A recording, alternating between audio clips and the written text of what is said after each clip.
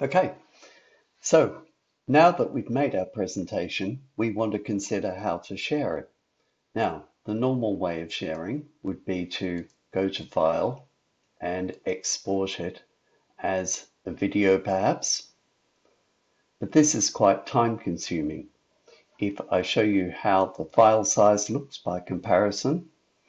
the file size for my PowerPoint presentation is 13 megabytes but actually the recorded video that I've exported is four times the size almost, and it takes an incredible amount of time to process.